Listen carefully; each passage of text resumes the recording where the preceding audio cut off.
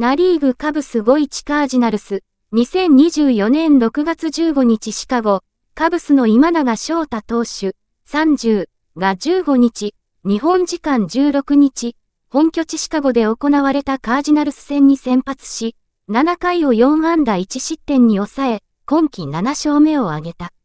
会心の勝利に今永は、まっすぐもスライダーも投げたいタイミングと、サインを出されるタイミングがすべて一致していた。そうでなければあそこまでストライクは取れなかったと思う。サインを出してくれたヤン、ゴームズに感謝しています。と保守、ゴームズのおかげであることを強調。その上で、自分がどういう投手なのかは、自分で評価するよりも他人に評価してもらう方が正確だと思う。自分が良い投手だと思ったことはないし、これからも思うことはないと思う、と謙虚に答えた。さらに7回西1、2塁のピンチでは何を考えていたかを問われると、お腹が減ってたんで、ちゃんとこういう栄養素を取ろうとかそういうことを考えていました、と真面目な顔で答えると報道陣は爆笑。続けて、ちなみにこれは本当です。と答えると、記者室から笑いが漏れた。カブス担当の、チゴスポーツのライアン・ヘレラ記者は自身の X に、この今永のコメントを聞いたゴームズの反応を投稿。何だって？本当かよ、と絶句していた。今永は3回までを1安打4奪三振と文句なしの立ち上がりを披露。だが4回、先頭のバールソンに右越えに塁打され、続くゴールドシュミットの夕頃で1死3塁に。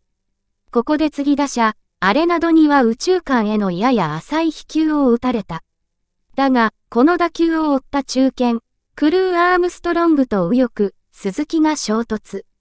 かろうじてクルー・アームストロングが補給したものの、結果的にこれが疑秘となって先制を許した。打線がすぐさま2点を取り返して1点リード。今永はその後も淡々とクレバーな本来の投球を続け、相手打線に追加点は許さず。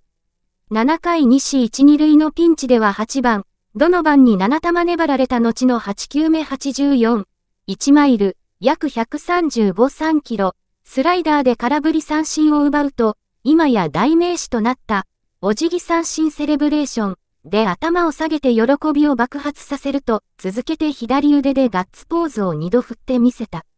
打線もそのガッツに応えて、その裏にハップのスリーランで4点差に広げた。